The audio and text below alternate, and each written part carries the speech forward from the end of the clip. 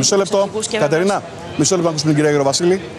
Βασίλη, είμαστε ξεκινάμε σήμερα μια δύσκολη κοινοβουλευτική περίοδος και για το ΣΥΡΙΖΑ που αρνηθήκατε κιόλας να είστε και πρόεδρος της κοινοβουλευτικής ομάδας.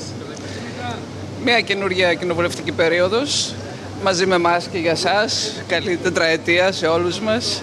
Α, θα είναι μια σύνθετη περίοδος, σύνθετη κυρίως εξαιτίας αυτών που έχει να αντιμετωπίσει η ελληνική κοινωνία και στο ρόλο που πρέπει να παίξουμε εμείς ε, ως αξιωματική αντιπολίτευση και να εκπροσωπήσουμε τα συμφέροντα της κοινωνίας με τη δυνατότερη φωνή α, που μπορούμε να αρθρώνουμε μέσα στο ελληνικό κοινοβουλίο αλλά και να διαφυλάξουμε την αδιατάρακτη λειτουργία του Κοινοβουλίου σε αυτή την κρίσιμη και σύνθετη περίοδο. Δεν αναλάβατε.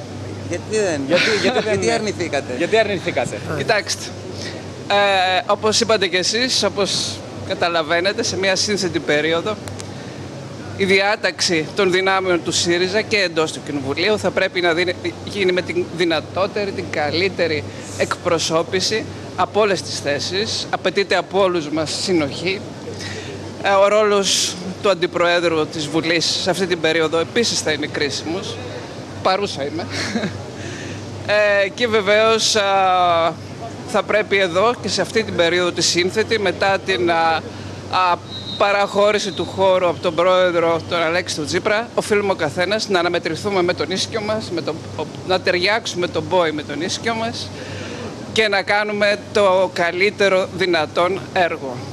Σε αυτή την ε, θητεία λοιπόν εγώ θα είμαι σε αυτή τη θέση.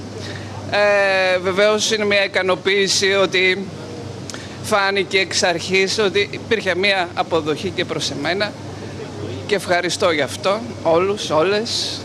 Θα είμαι εδώ και θα δώσω όλες μου τις δυνάμεις για το καλύτερο δυνατόν. Σε περίπτωση που κάνει νέο πολιτικό βήμα ο Αλέξης Τσίπρας θα ακολουθήσετε ή θα παραμείνετε; θα τα δούμε όλα αυτά. Ευχαριστώ. Είστε ανοιχτοί επομένως, αυτό Θα καταλαβαίνω. τα δούμε. Ευχαριστώ.